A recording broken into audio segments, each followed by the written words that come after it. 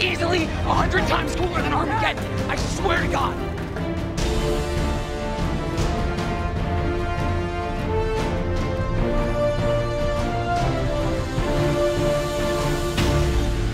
Welcome back, Autobots, Decepticons, and everything in between to another episode of Fixing Transformers. And in today's video, we're going to take a look at protoform misconceptions. So without further ado, let's jump right in. Now, protoforms are just a skeletal form of every Cybertronian. This is not to be confused with a Cybertronian's developed structure, which I'll get into later. Protoforms are capable of transforming into a transition form, a armored, cometary shape capable of interstellar travel. Upon landing on a new world and transforming back into a protoform, the transformer immediately begins trans-scanning for a new alternate form to adopt.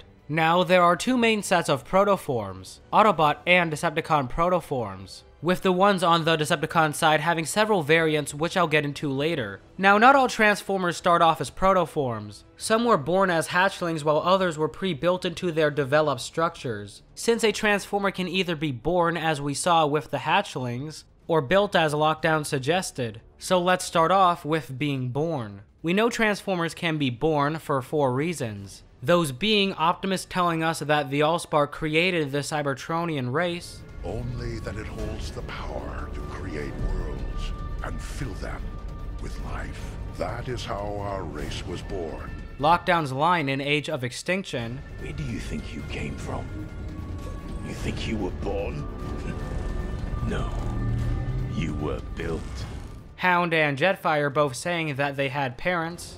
Any longer, let has snagged our location. You're a hell of a father, Cade. Don't forget it. Though my dad never called me.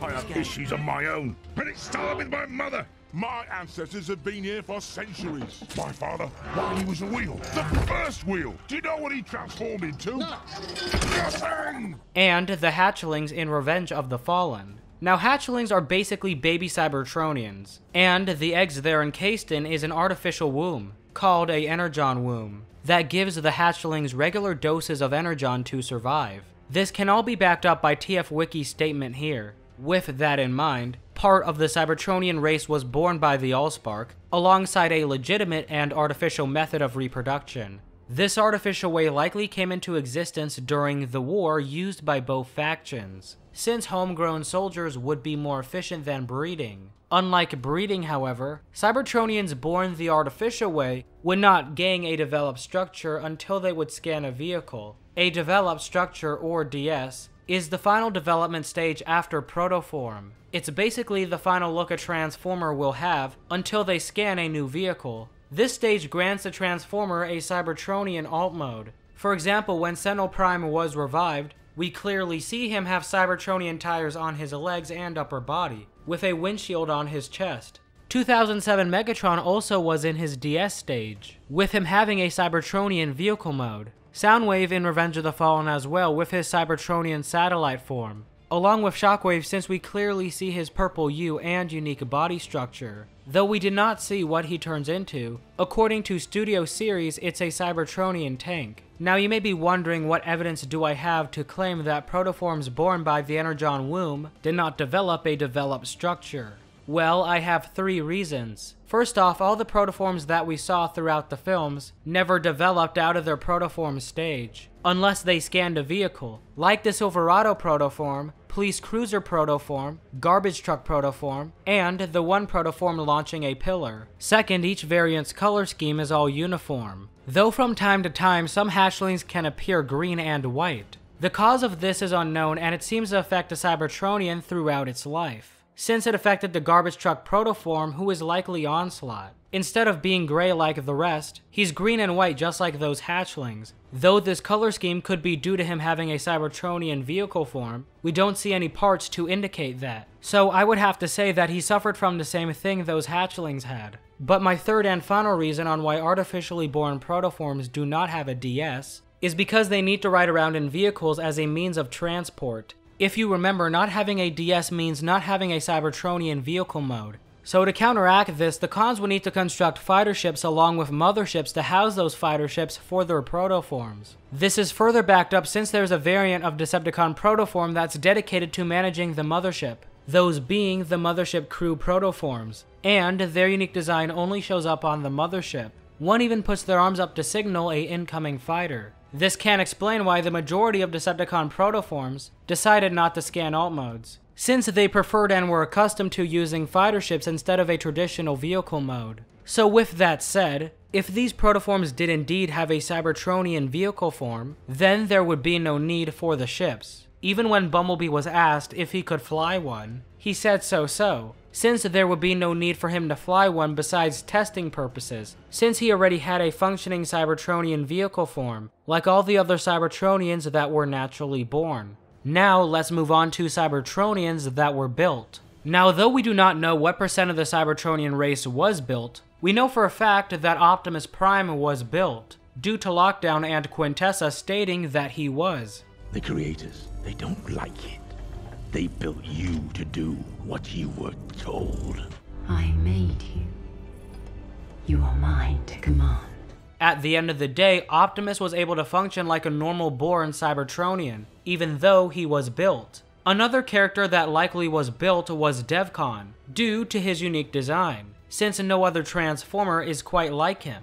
He even has these giant feet that can crush Autobots, and a gun that can obliterate anything in its path. He's clearly a weapon of war, and though we never saw him transform, we can clearly see he has tires from his Russian missile launcher alt mode, so we know for a fact that he can. I also think that Soundwave's minions were built as well, since they all serve a specific purpose. Laserbeak is the perfect spy since he can transform into a plethora of alt modes, and even imitate others. Wheelie was built for surveillance to monitor the Witwicky household, and ultimately steal the Shard. Scalpel was clearly made to be a doctor unit, and this gets reinforced in Dark of the Moon since multiple of him show up to fix Megatron. Alice was made to impersonate humans for the Decepticons' benefit, and lastly Frenzy, Ravage, and Reedman were clearly smash and grabbers who would do anything to get the intel or item they needed. There is a good chance that the Constructicons were built to serve as the Decepticons' construction force, especially Hightower, Overload, Scavenger, and Demolisher, due to their size alone. This can also explain why some of them were cloned and appeared in Revenge of the Fallen. And lastly, the big hatchets that we see in Dark of the Moon, which I like to call barrage units. Due to their massive size alone, they were likely built to destroy Autobot bases.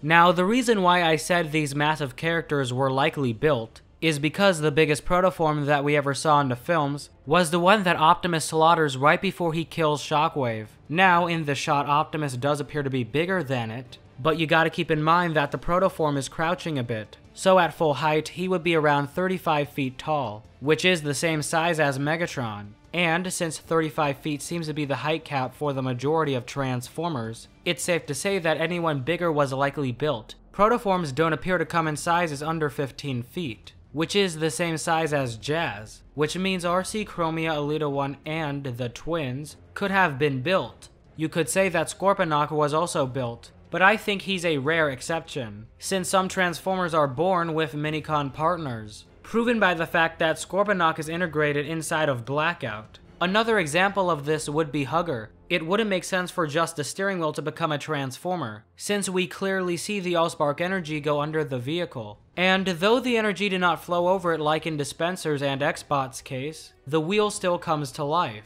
So it would make sense for the Cadillac to come to life as well. And with all that said, that should cover all misconceptions about Cybertronians born or built. But now let's move on to why the protoforms in Transformers 2007 look drastically different in the sequels. And that's because originally Autobot and Decepticon protoforms shared the same design, until they were retconned to have a distinct Autobot and Decepticon version. Since we're on the topic of Transformers 2007, as for why the Autobots showed up as protoforms instead of being in their DS forms, is because when a Transformer enters their transition form, they shed their parts all the way down to their protoforms, to better resemble a comet. When traveling the galaxy, the transition form picks up a coating of space dust and debris. This rocky material forms a rough crust over the Transformer to complete the meteor disguise better. We saw this stuff burn off of the transition forms in Transformers 2007 and Revenge of the Fallen. As for which Autobot landed where, Jazz landed in the baseball stadium, where he would end up finding a car dealership nearby, scanning his favorite car.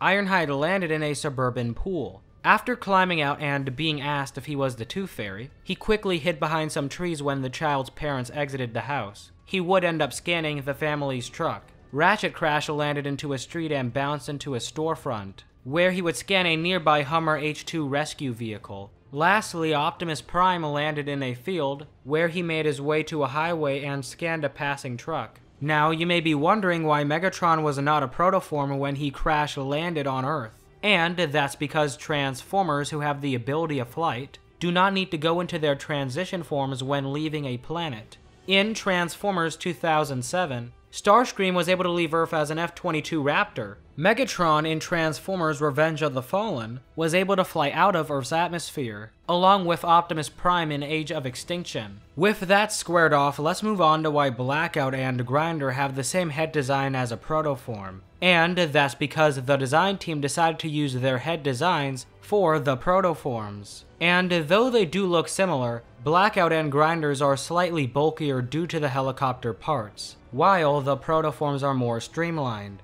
But for an in-universe answer to this, I believe Blackout and Grindor kept a protoform head design as a symbol of patriotism, basically bearing the skull of the Decepticon faction, showing that they would serve it till their dying breath. Another question many have asked is how come the Decepticon protoform showed up in The Last Knight? Well, if you think about it, it's likely that not all Decepticon protoforms were able to abandon Cybertron, so eventually, when Quintessa came and started fixing up the planet, they took notice and joined forces with her. Eventually, when Megatron showed up, they were eager to fight alongside their master once again. Now let's move on to the second to last part of the video, that being protoform variants and weaponry. The original and oldest protoform variant would be the Dynasty of the Primes, which includes the original 7 Primes. Little is known about them and they all came in several configurations that made them all look unique. It is unknown if they could even transform, but what is known is that all of them died out for some time besides the Fallen, but he would ultimately end up getting killed by Optimus. The second iteration of Protoform that would come would be the Autobot and Decepticon ones. Though the Autobot ones did not appear to have variants, the Decepticon ones sure did, with the most common variant having and not having spikes on their backs, along with their faces.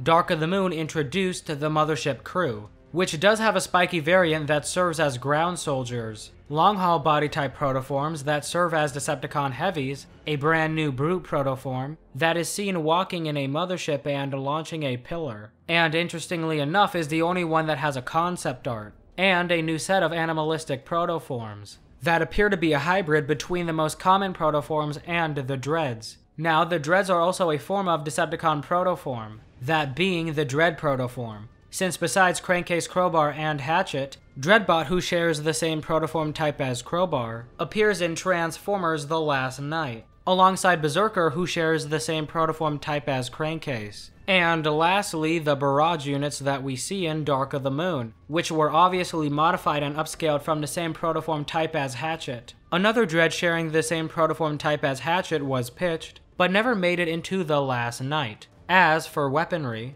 the most common protoforms either had dual miniguns or a blaster, with the blaster design getting updated for Dark of the Moon.